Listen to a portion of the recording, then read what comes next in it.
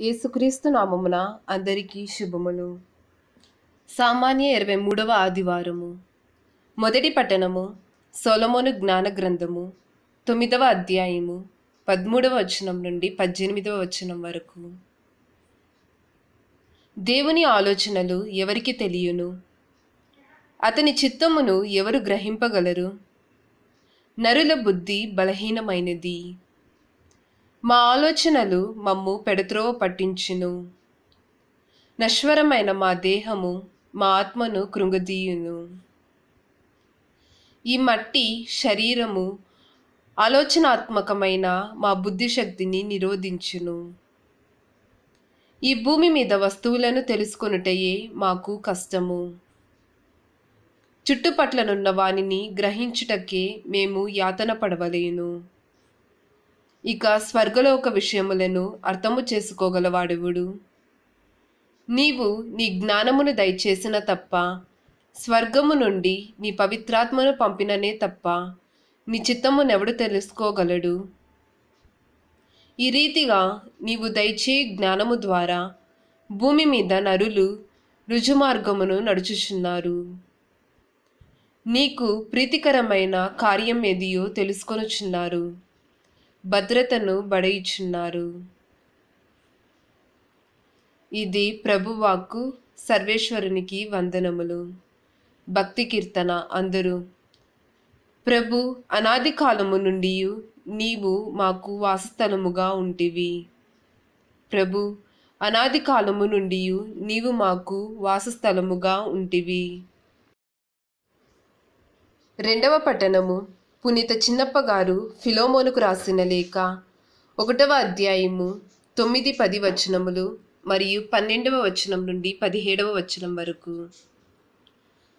దానికి బదులుగా ప్రేమ కొరకై ప్రాధేయపడుచున్నాను. వృద్ధుడును యేసుక్రీస్తు కొరకు ఇప్పుడు బందీ అయిన పౌలు ఈ మనవి చేయుచున్నాడు. నేను చెరసాల ఎందు ఆధ్యాత్మిక జీవనము నొసిగిన ఒనేము కొరకు నీకు ఒక మనవి చేయిచున్నాను. ఇప్పుడు అతనిని హృదయపూర్వకముగా నీ వద్దకు త్రిప్పి పంపుచున్నాను. స్వార్థ కొరకు చెరేందు ఉన్నప్పుడు నీకు బదులుగా నాకు సాయపడుటకు అతనిని ఇచ్చట నా వద్దనే ఉంచుకొనవలేనని ఉన్నది. కానీ నాకు సాయము చేయవలసినదిగా నిన్ను నిర్బంధింపను. నీవు నీకు ఇష్టము వచ్చిన ప్రకారము చేయుటయే నా అభిమతము. కనుక నీ సమ్మతి లేకయే నేను ఏమీయూ చేయను. ఒనేసేము నీ నుండి తాత్కాలికముగా దూరమగుట నీవు అతనిని తిరిగి శాశ్వతముగా పొందుటకే కావచ్చును. ఇప్పుడు అతడు సేవకుడు మాత్రమే కాదు. సేవకుని కంటే ఎన్నియో రేట్లు అధికుడు. అతడు క్రీస్తునందు ప్రియ సహోదరుడు. అతడనిన నాకు ఎంతయో అభిమానము. సేవకుడుగా క్రీస్తునందు సోదరుడుగా నీకు అతడు ఎంతటి వాడు కాగలడో. కనుక నన్ను నీ భాగస్వామిగా నీవు ఎంచినచో నాకు నీవు స్వాగతం ఇచ్చినట్లే అతనికి స్వాగతమిమ్ము. ఇది ప్రభువాక్కు సర్వేశ్వరునికి వందనములు. ఈనాటి సువిశేషము పునీత లూఖా గారు రాసిన సువిశేషము పదునాలుగవ అధ్యాయము ఇరవై ఐదవ వచనము నుండి ముప్పై మూడవ వచనము వరకు. అప్పుడు గొప్ప జనసమూహము ఆయన వెంబడి వెళ్ళుచుండెను. ఆయన వెనుకకు తిరిగి వారితో ఇట్లనెను.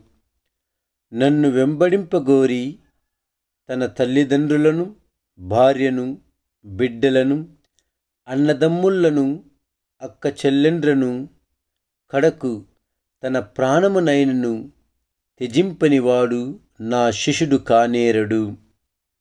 తన శిలువను ఎత్తుకొని నన్ను వెంబడింపనివాడు నాకు యోగ్యుడు కాడు. గోపురము కట్టదలచినవాడు కూర్చుండి వ్యాయము గుణించి దానిని పూర్తి చేయు సాధనా సంపత్తి తన వద్ద ఉన్నదా లేదా అని పర్యాలోచన చేయడా?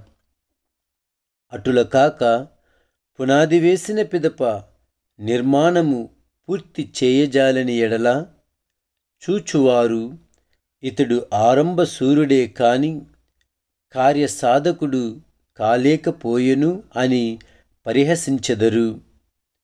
ఒక రాజు యుద్ధమునకు వెళ్ళుటకు ముందు ఇరువది వేల సేనతో తనపై దండెత్తువచ్చు శత్రురాజును తన పదివేల సేనతో ఎదుర్కొనగలనా అని ఆలోచింపడా.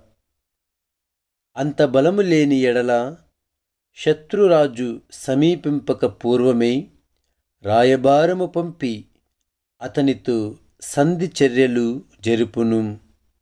కనుక తన సమస్తమును త్యజించిన తప్ప ఎవడును నా శిష్యుడు కానేరడు. ఇది క్రీస్తు సువిశేషము. క్రీస్తువ మీకు స్థుతి కలుగునుగాక.